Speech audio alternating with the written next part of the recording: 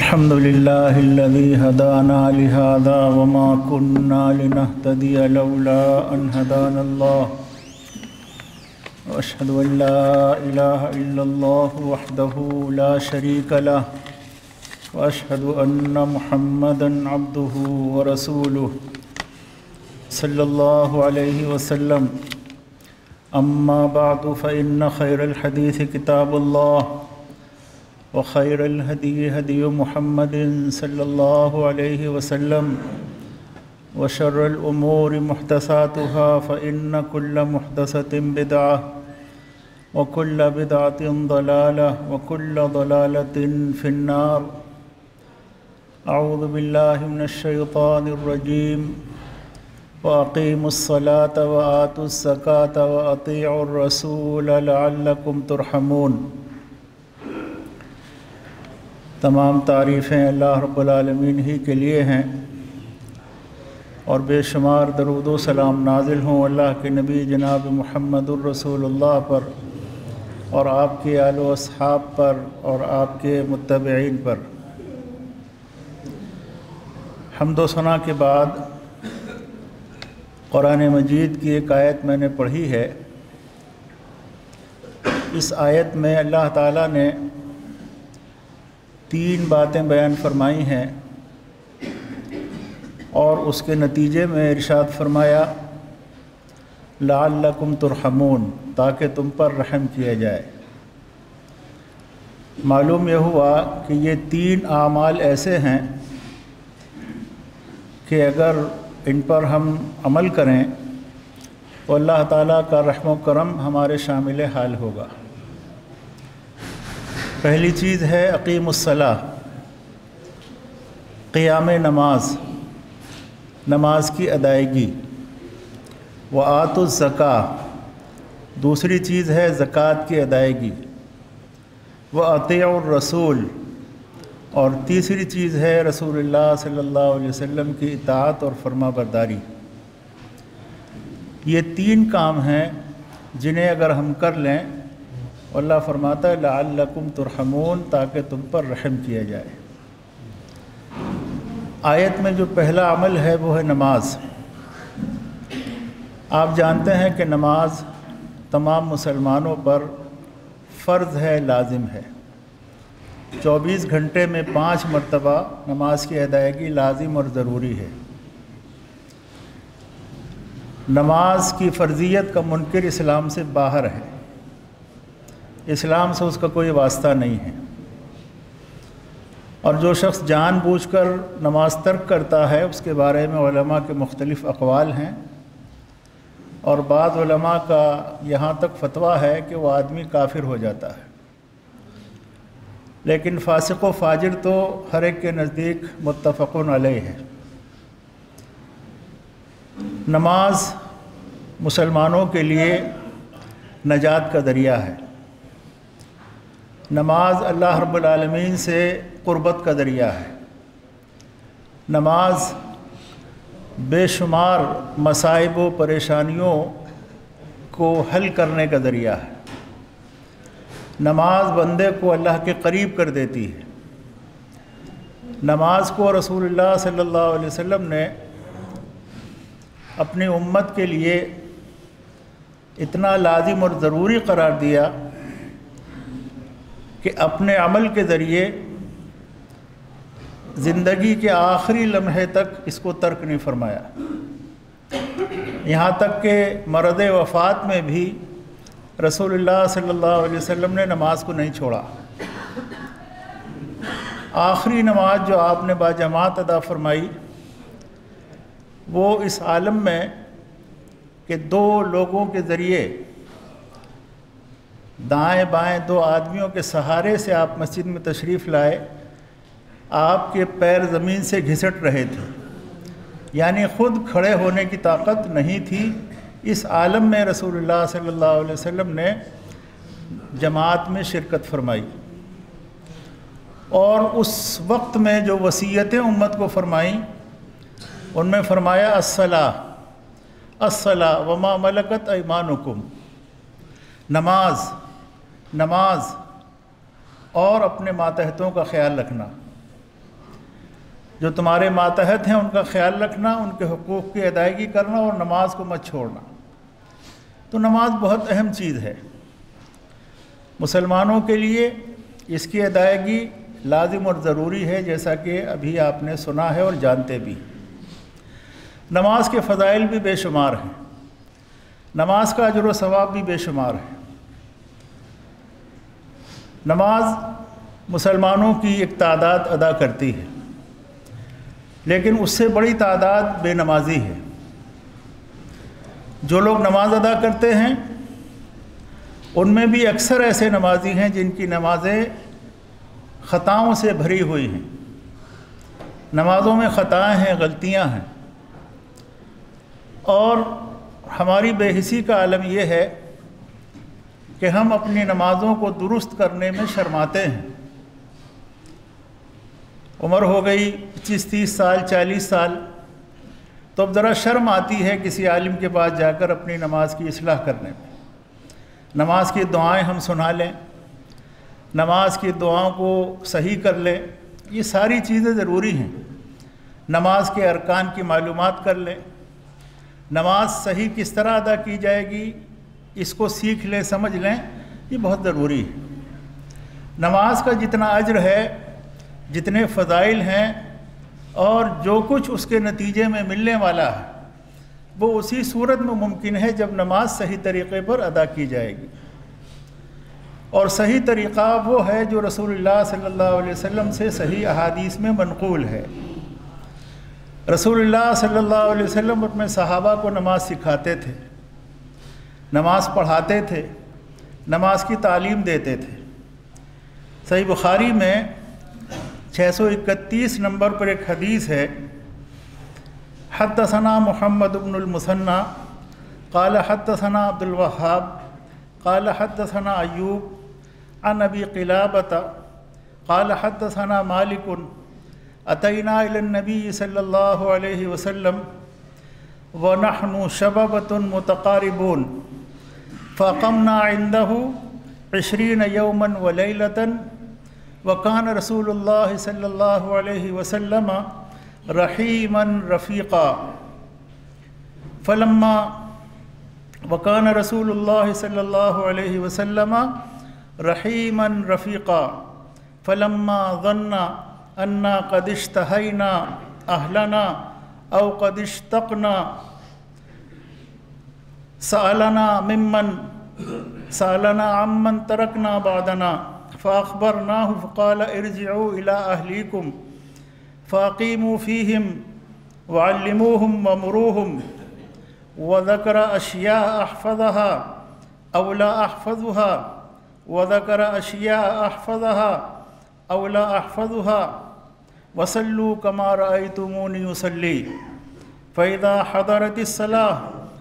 फ़लयुद्दिल्लकुम अहदकुम वल यउम्मकुम अकबरुकुम रवाहुल बुखारी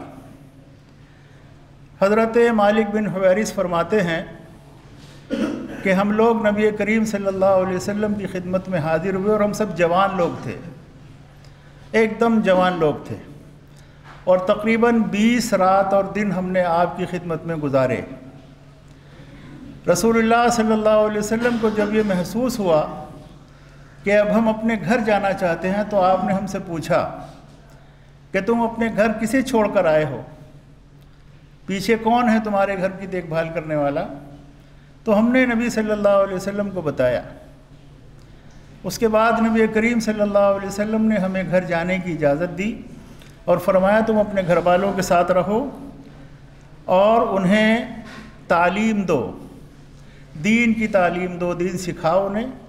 बीस दिन रात रहकर जो कुछ तुमने मेरे पास सीखा है, उसे अपने घर वालों को सिखाओ और उन्हें इस दीन पर अमल करने का हुक्म दो। और उसके बाद जो हदीस आप बारहा सुनते होंगे, वो इस लंबी हदीस का टुकड़ा है। सल्लू कमार तुमूनी उसली और नमाज़ इस तरह अदा करना जिस तरह तुमने मुझे अदा करते हुए देखा है। नमाज़ इस तरह पढ़ना जिस तरह मुझे पढ़ते हुए देखा है। और जब नमाज़ का वक्त आ जाए तो तुम में से कोई आदमी अजान दे और जो तुम में बड़ा हो वो तुम्हारी इमामत करे। ये मुकम्मल हदीस है, जिसमें रसूलुल्लाह सल्लल्लाहु अलैहि वसल्लम ने अपने सहाबा को जो 20 दिन आपकी खिदमत में क़याम पजीर रहे, उनको हिदायत फरमाई थी, सल्लू कमार आई तुमूनी वसली नमाज़ इस तरह पढ़ना जिस तरह तुमने मुझे पढ़ते हुए देखा है। तो मालूम ये हुआ कि उसी तरह की नमाज़, जिस तरह, जिस तरीक़े पर रसूलुल्लाह सल्लल्लाहु अलैहि वसल्लम ने नमाज़ अदा फरमाई, उसी तरीक़े पर नमाज़ अदा की जाएगी तो यकीनन उस नमाज़ का अजर होगा और वो नमाज़ अल्लाह ताला के यहाँ काबिल कबूल होगी। अब एक हदीस और आप सुन लीजिए, जो ज़रा लंबी हदीस है। जिसमें नमाज़ के बुनियादी अरकान बयान किए गए। और बहुत अहम हदीस है नमाज़ के सिलसिले में। हज़रत अबू हुरैरा रदी अल्लाह तु रावी हैं, फरमाते हैं, अन्ना रसूल अल्लाह अलैहि वसल्लम दखल मस्जिद फ़दखल रजुल फसल्ला फ़सल्लम नबी अलैहि वसल्लम फ़रद वक़ाल इरज फ़सली फ़िन कलम तसली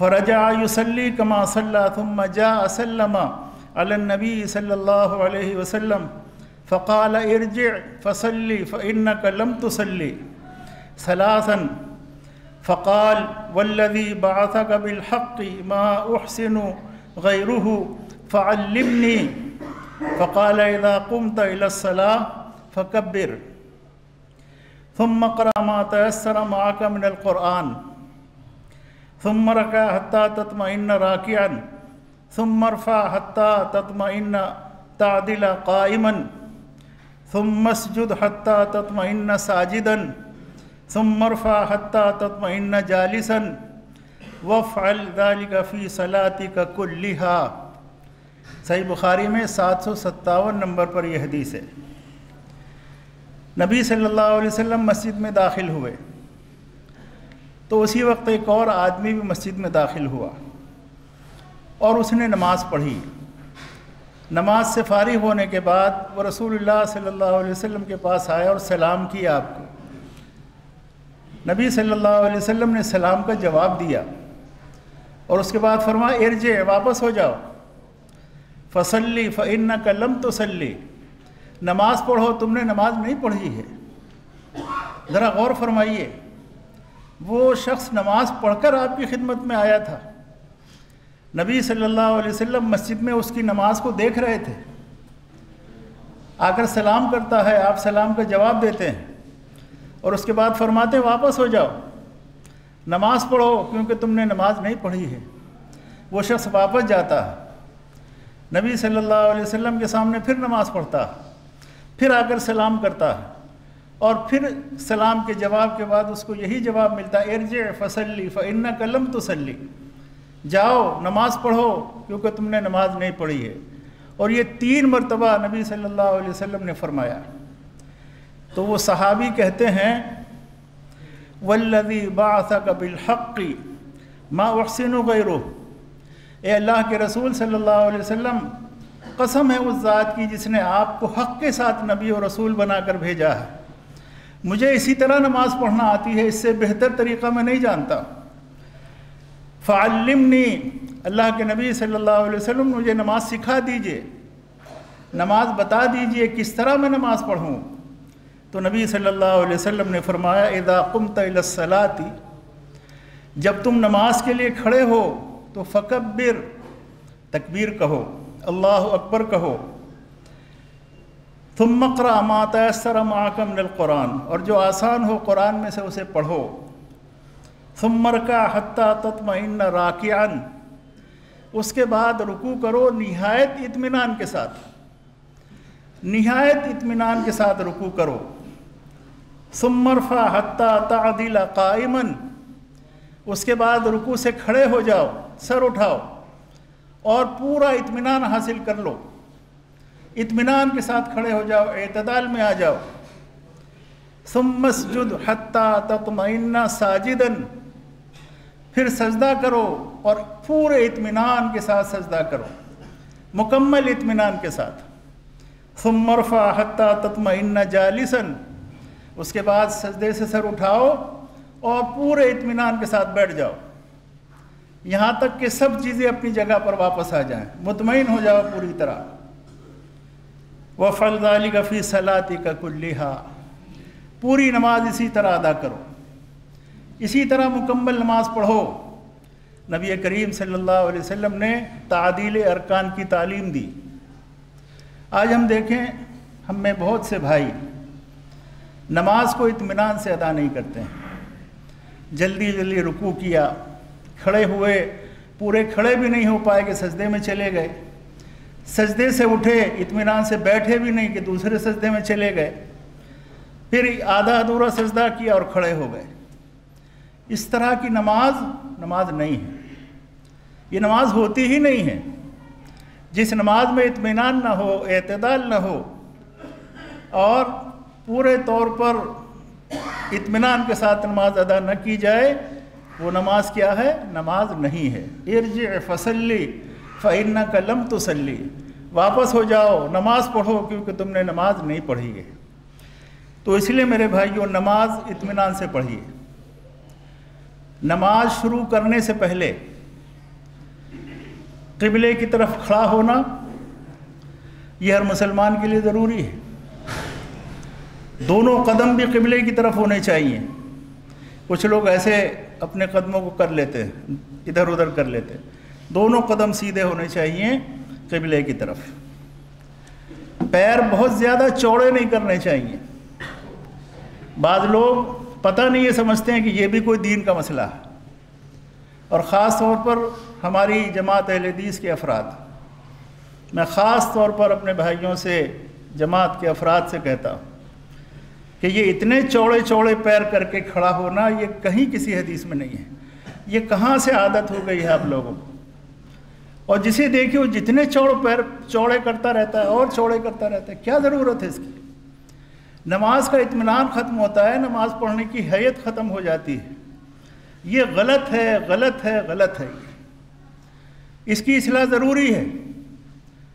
आप खड़े हों अतदाल के साथ इतमान के साथ। जितना आपका वजूद है, उतने पैर रखिए। और ये जो बाद लोग बयान करते हैं कि चार उंगलियों का दोनों पैरों के दरमियान फासला हो ये भी गलत है। ये भी किसी हदीस में नहीं है कि दोनों पैरों के दरमियान सिर्फ़ चार उंगलियों का फैसला। ऐसा फासला कहीं हदीस में नहीं है। तो ना पैर चौड़े करने हैं और ना ही बिल्कुल इतने मिला के कि चार उंगलियों का फासला रह जाए, ये गलत है, दोनों मसले गलत हैं। हाँ जब आप जमात से नमाज़ पढ़ें, जमात से नमाज़ अदा करें तो अपने साथी के कंधे से कंधा कदम से कदम मिला लें। उस वक्त अगर थोड़े से पैर आपके खुलते हैं तो इसमें कोई हरज नहीं है। लेकिन जब इनफरादी तौर पर आप नमाज़ पढ़ें तो ज़्यादा पैर खोल कर नमाज़ पढ़ना ये सही नहीं है। अब एक मसला और है, जो राइज है हमारे माशरे में। वो है नमाज़ की नीयत। नीयत क्या है? हदीस में है, इन्नमल आमाल बिन नीयत। बुखारी शरीफ की सबसे पहली हदीस है। कि आमाल का दारो मदार नीयतों पर है। यानी कोई भी अमल नीयत के बगैर काबिल कबूल नहीं नीयत क्या है? नीयत दिली इरादे का नाम है कि जब आपने किसी चीज़ का इरादा दिल में कर लिया तो आपने उस काम की नीयत कर ली। नमाज़ के लिए आप तशरीफ़ ला रहे हैं, जुमे के लिए आए हैं, मस्जिद में आ गए हैं आपने नीयत कर ली है, दिल में इरादा हो गया, नमाज़ जुमा अदा कर रहा हूँ। यही नीयत है। अब कुछ लोग ज़बान से भी अदा करते हैं। नीयत करता हूँ मैं अल्लाह के वास्ते, दो रकत नमाज़ नमाज़ जुमा पीछे इस इमाम के, अल्लाह अकबर। इस तरह के अल्फाज कमो बेश लोग अदा करते हैं। ये किसी हदीस में नहीं है। किसी सहाबी के कौल से साबित नहीं है। ताबईन और उनके शागिर्दों से भी साबित नहीं है। मुहदसिन और अम्मा और फ़ुकहा से भी साबित नहीं। है ये बहुत बाद के फ़ुकहा ने इसको घड़ा है। फ़ुकहाए मुतकदमीन की किताबों में भी नीयत के इन अल्फाज का कहीं पता नहीं है। इसीलिए ने इन अल्फाज की अदायगी को बिदात करार दिया है। अब ज़रा सोचिए थोड़ी देर के लिए कि नमाज़ जैसा अजीम अमल। आप अदा करने के लिए खड़े हुए हैं और उसकी शुरुआत बिदात से हो रही है तो वो कैसे अल्लाह के यहाँ काबिल कबूल होगा? और अगर किसी को शक हो कि ये बिदात नहीं है तो इसकी दलील ले आइए। इसकी दलील ले आइए। पूछे जाइए कराम से कि कोई ऐसी हदीस ज़यीफ़ रिवायत सही, मैं सही का मुतालबा नहीं कर रहा। ज़यीफ़ सनद के साथ भी कोई रिवायत ऐसी हो कि जिसमें नियत करने का ये तरीक़ा, ये अल्फाज मौजूद हों तो वो आप पेश कर दीजिए। किसी एक लाखों सहाबा में से किसी एक सहाबी का कौल, किसी एक सहाबी का कौल, दो चार का नहीं, सिर्फ़ एक सहाबी का, कि उन्होंने इस तरह की नीयत के अल्फाज अदा किए हों। तो उसको पेश कर दीजिए। हम मान लेंगे कि हाँ भाई, सहाबी का अमल है, दुरुस्त है, जायज़ है। या ताबईन में से किसी का कौल मुहदसिन में से किसी एक का कौल, चारों अइम्मा में से किसी एक का कौल, कहीं नहीं मिलेगा आपको। बिल्कुल इस तरह यकीन फरमा लें, जिस तरह से आप इस वक्त मस्जिद में मौजूद हैं और जुमे का खुतबा सुन रहे हैं। ये तो बिल्कुल यकीनी बात है। इसमें तो कोई शक नहीं है। तो ऐसा ही यकीन फरमा ले कि कहीं सबूत नहीं मिलेगा। पता नहीं कहाँ से लोगों ने इसको घड़ लिया। सारी नमाज़ तो अरबी में है, नियत उर्दू में हो रही है। अब जब ये ये कहा गया कि उर्दू में हो रहा तो लोगों ने इसकी अरबी बना नमाज़ की इब्तदा। जब आप अल्लाह अकबर से करते हैं तो दोनों हाथ उठाने। दोनों हाथों को इस तरह उठाना। ये उंगलियाँ ना तो खुली हों ना बिल्कुल चिपकी हुई हों, इस तरह उठाना। हदीस में दो तरीके मौजूद हैं।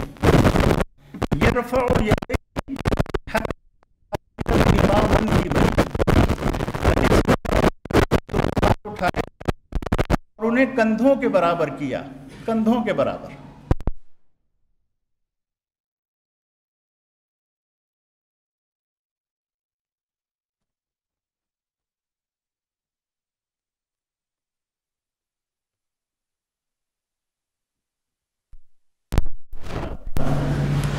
कान छुए नहीं।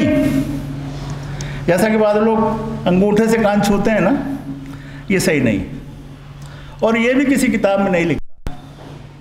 फ़ुकाय अहनाफ ने भी नहीं लिखा कि कानों को छूना है, कानों तक हाथ उठाना हत्ता युहादिया बिहिमा उदू नहीं। कानों के बराबर हाथ ले आए, ये तरीक़ा है। या कंधों के बराबर हाथ। ये दो तरीक़े हैं हाथ उठाने के। तो ये चीज़ें ध्यान में रखना है। बाकी इन आइंदा बयान करेंगे। कौल कौल हादा वस्तफ़रल्लाकुम वलिसाइलमसलमिन फ़स्तफ़रू इन का गफ़ारा।